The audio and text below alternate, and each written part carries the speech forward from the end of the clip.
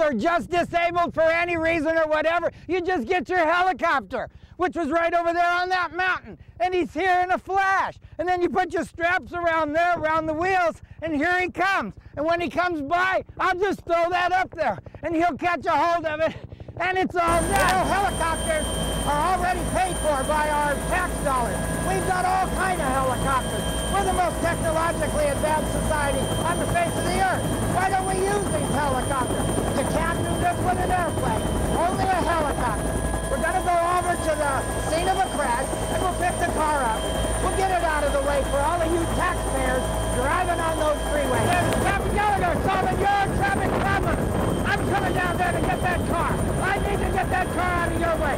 That car's got to get out of the way. It's in our way. It's stopping our commerce. It's costing us millions of dollars. And I'm going to solve the problem. All right, I'm coming in now. I got these straps.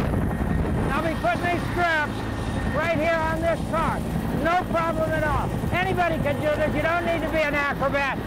You can just be a comedian like me. Kind of crazy. But right there's what we've done here in a minute. No problem. Then you get you on your cable like this.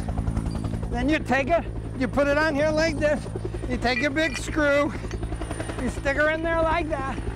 You screw her up like this. Then you get up on top of the ground. You see? Now you're ready to go. All right, now I've got all this together. Just jump off and I tell my pilot that he can get out of there and he takes that car out of there. That car's gone. It was here, now it's gone. That car's here, it's gone. Get that car out of here. Oh, look, we've got the front end, but we can just lift it from the back end, and you got no problem. Take it away. This is Captain Gallagher solving your wrecked problem.